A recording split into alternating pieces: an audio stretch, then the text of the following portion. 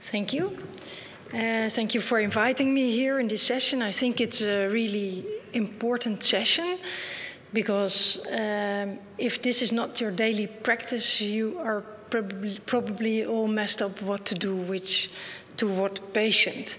And um, to make it even worse, I will give you the next presentation. but hopefully, in the end of this session and with the discussion, with the fruitful discussion, we can kind, make a kind of a, a streamline for which treatment for which patient. So, so we will work on that. So I have interesting disclosures. Uh, Endogastric Solutions is the maker of one of the endoluminal devices. Um, Endostim, uh, I'm unfortunately not talking about that. That's the FDA trial that just stopped, where uh, Blair was talking about. Um, and we must show this slide for seven seconds at least. So this were seven seconds, I think, Aurora. Okay. the goal um, of um, uh, the endoscopic fundoplication must give better or the same results as PPIs, in, in my opinion. And why? because the PPI, the use of the PPI, really has a lot of side effects. And um, most people do not realize this. And a lot of patients who I see on the outpatient clinic uh, using PPI for at least three years, they really have a deficiency of vitamin B12. Um, they already start. Uh, uh, getting problems with their, their lungs, and if they still use it for longer term, there are studies that uh, indicate that you can have an increased risk of Alzheimer's disease. And uh, it's good to realize that at least 10% uh, and even perhaps 20% of our world population uses PPI on a daily basis. So it's really good to inform your patient that they should uh, combine this PPI with uh, multivitamin uh, medicaments or vitamin B12 injections at least. So um, another goal of the endoscopic fundoplication should be that it has a good short but also long-term treatment of uh, GERD symptoms. Um, I think that it's very important to, to avoid dysphagia and gas bloating because that is what hesitates people to get a laparoscopic Nissen or Toupet fundoplication. And what's also important to realize that people who have uh, reflux, they probably also have an impaired ratio of collagen 1, type 1 versus type 3. Uh, so they have weak collagen and therefore they have an increased risk to develop incisional hernia if we do laparoscopic surgery or even open surgery.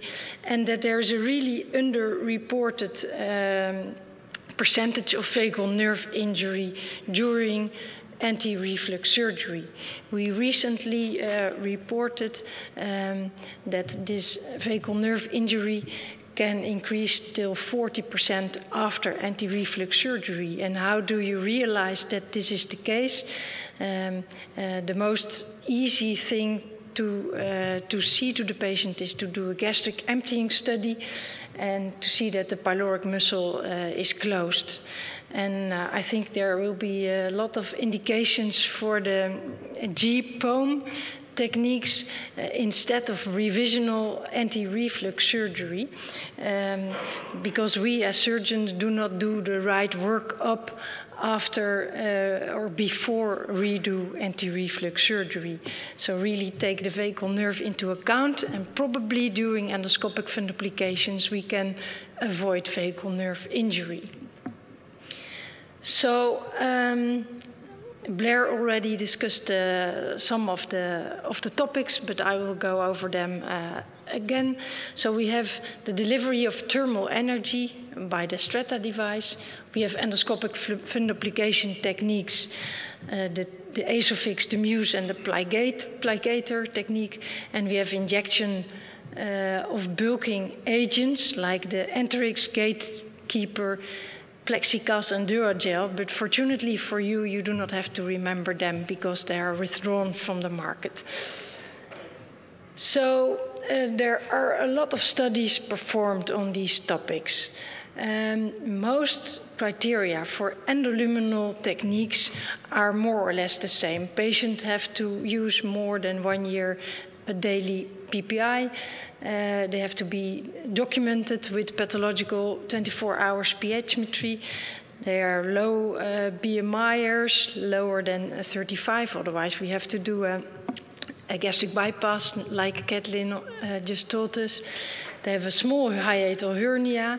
Um, indeed, I think it's, it's dangerous to, to treat a bigger hiatal hernia also with the LINX device uh, and no motility disorders. They must not have uh, Barrett esophagus and low-grade esophagitis. So um, here's a small uh, movie of the of the Stretta, how it works. Blair already showed, but there's a delivery of thermal energy to create hypertrophy of the muscularis. And uh, the, the heat in the mucosa is about 50 degrees Celsius, and in the muscularis can raise up to 80 degrees. It's really a fast, um, uh, rather fast procedure, and it's also rather safe. There are hardly any serious complications reported in the many patients in literature. So what's interesting that in SAGES in 2013, it was recommended strongly with the literature available at that time to do this procedure if patients would not want to be on daily PPI. But uh, nowadays, like um, Blair already told you, we know from a systematic review and meta-analysis that in, if you compare the effect of the Stretta procedure to sham or PPI use, that there is no evidence that the treatment of um, Stretta is of any influence of the GERD symptoms. And we are very um, curious to know where Blair Jobe uses the Stretta for, but we will hear that later onwards in the discussion. So um, there's also a lot of experience with this device, the EsophyX device. Uh, we ourselves also did a lot of patients with this device. And uh, if you go through the literature, the problem is a bit that the device and the procedure changed a bit so that you cannot really compare what is written in literature. How does it work? Uh, you can reduce a small hiatal hernia by um, uh, making a vacuum to the device and um, then the hiatal hernia will be uh, reduced. Then um, by putting a um, uh, an endo retractor, you harvest the tissue of the stomach uh, two to three centimeter below the Z line, and you create a, a valve with polypropylene fasteners. This procedure is performed under most of the time under general anesthesia and takes about 60 minutes.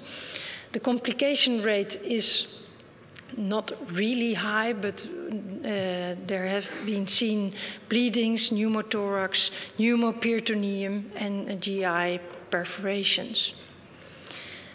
Um, happily, a systematic review was done also in, um, in EsophyX uh, procedures, and what was seen is that mainly uh, the regurgitation can be treated quite well with this device. Uh, the short-term um, uh, advantages of the device are quite well, but if you look into literature on the longer term, only 30% of the people uh, are able to uh, stop their PPI. And um, well, what's good to realize in these procedures that if you want to do a Nissen or Toupet procedure afterwards, then this can be done uh, quite safely. Um, what must be uh, said is that if you do a Nissen fundoplication after EsophyX, is that uh, you get more dysphagia than in your normal population. So do not do a Nissen fundoplication if you do redo surgery on these patients, but choose uh, Toupet fundoplication. So then um, the, the latest device on endoluminal plication is this system. It's a Muse system. It works by ultrasound. Um, and the valve is not created below the Z line, but a bit above the Z line, so two to three centimeter above the Z line. The staplers that are used to create this valve are more robust, robust than the fasteners used by uh, EsophyX. Um, and uh, it also creates a 210 to 250 degrees valve, uh, but a bit above the level of the lower esophageal sphincters. There are a few studies reported on the Muse in literature, and um, the outcome is more or less the same as like uh, the EsophyX procedure.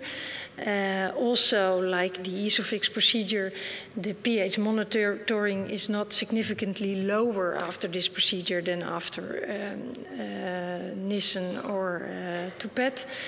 The complications are a bit more serious with the Muse device, probably due to the position of the device that is a bit higher and the forces of the valve are a bit higher due to the contractions of the diaphragm. And also, perhaps because the valve is more robust, then uh, you can really see uh, serious tears in the esophagus or bleeding. And if you look um, uh, at longer term follow up of this procedure, there are happily no more complications uh, reported after four years and then in the beginning of this uh, uh procedure. So, on the longer term, no more serious complications. So, uh, then we have the plicator, and the plicator. Um, is probably the most uh, interesting uh, device. The name of the plicator changed, and it's now the GERDx uh, device. And in the beginning, um, the plicator was used to only put one plication at the opposite of the lesser curve in the stomach. But later, um, the efficacy of two plications was more, even more interesting um, can be performed uh, quite fast in 25 minutes, and minor adverse events were reported and only directly post-operative, not on the longer term. Um, and uh, if you look into detail what was reported on this procedure in literature, this seemed uh, the best uh, procedure of the three procedures that I discussed. Um, almost 90% were able to stop their daily PPI use after one year, and the pH monitoring also significantly reduced. Um, if this procedure fails, you can also easily go to um, a fundoplication.